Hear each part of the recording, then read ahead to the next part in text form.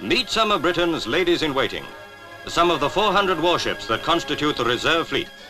With few exceptions, all have been built since 1939 and include three 35,000-ton battleships, eight cruisers, four aircraft carriers, 60 destroyers, 130 frigates, and 80 minesweepers.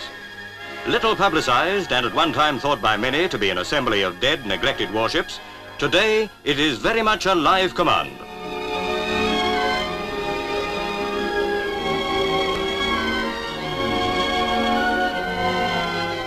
Reserve fleet must be ready to replenish the active fleet, so modern methods are used to preserve the vessels in a constant state of readiness.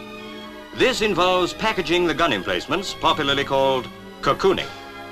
Webbing and netting are first stretched into position over all working installations above deck.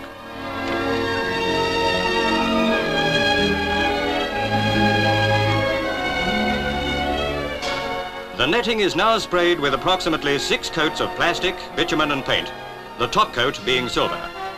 By this method, guns and radar equipment can remain for years in excellent condition.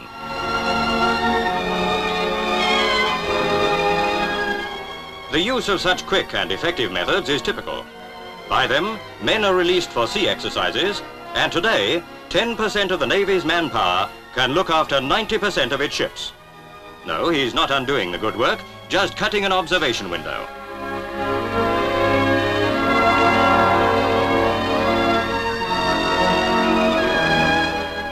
There are about 10,000 officers and men in the command, including a fair proportion of national service entrants. They're all very much needed, for in spite of modern methods, they have more than enough work. Due to post-war shrinkage of the active fleet, many ships entered the reserve at a time of manpower shortage, and much hasty work has had to be made good since. Gun muzzles are sealed off, for nothing is left to chance.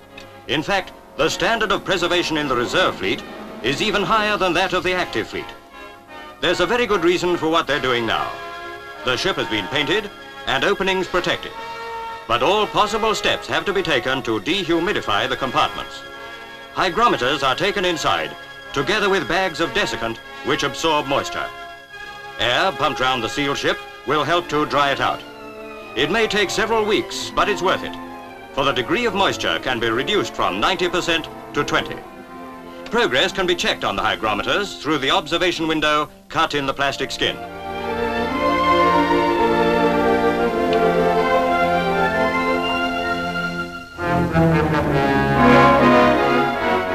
Britain's strength depends on her fleet, and her fleet in turn depends on the reserve, ready at any moment to produce a ship in full working trim. So let us salute the officers and men who make it possible.